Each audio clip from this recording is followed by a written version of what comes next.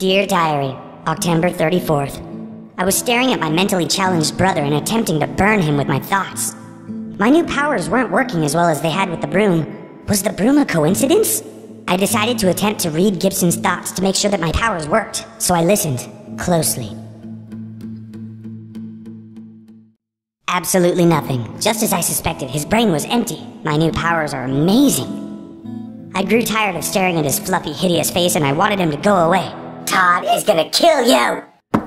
Finally, a moment to myself. Kitty, kitty, kitty! But then, all of a sudden, Sylvester!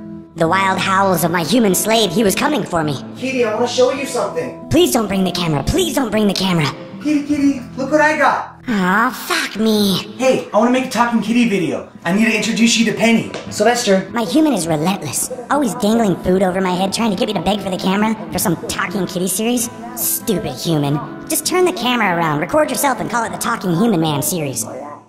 Sylvester! No. Kitty, fine. If you don't want to make a talking kitty video, we don't have to. But I am going to still introduce you to Penny. I don't know what Sylvester's deal is lately. He won't let me make a talking kitty video. He just won't participate. All he says anymore is burn, whatever the hell that means. I just wanted to introduce him to Penny. Oh, I bet I know what it is. He probably thinks Penny's another kitty cat. I don't want him to be jealous. I better go set him straight.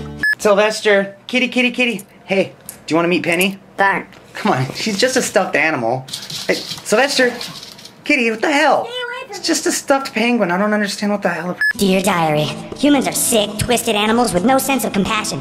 I'll have to learn how to use my new powers to destroy the monster penguin that my human brought home to kill me. I'll write again soon. Real soon.